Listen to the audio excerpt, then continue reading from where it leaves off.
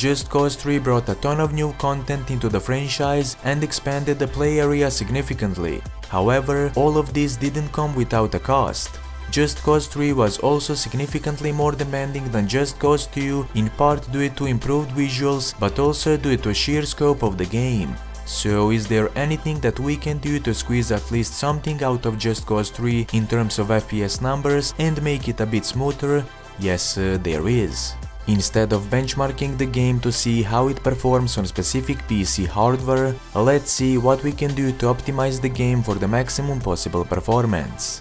Before we proceed with the optimization process, uh, download and install uh, LowSpecs Experience.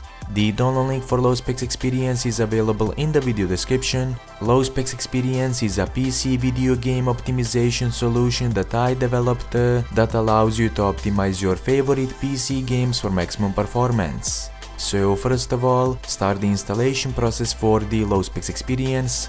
Once the installation is complete, start it from the newly created desktop shortcut.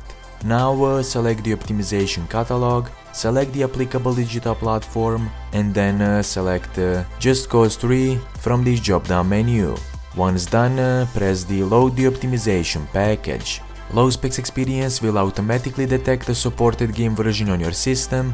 Now press OK and the optimization control panel will load. Once the optimization control panel has loaded, select the desired optimization presets and the rendering resolution for the game. Feel free to experiment with the optimization presets and rendering resolution to see what works best for your system.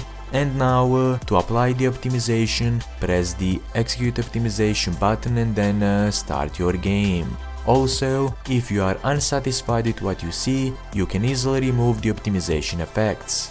That will do it for this video. If you found this video helpful, be sure to like and subscribe. Until next time, happy gaming!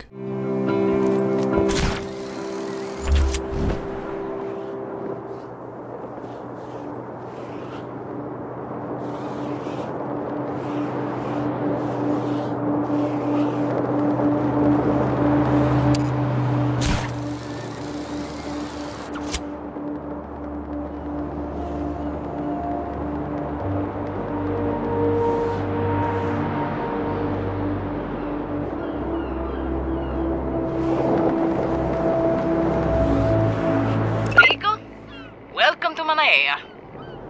I grew up here, so I'm only too happy to give you a tour of how Di Ravello's ruined this beautiful city.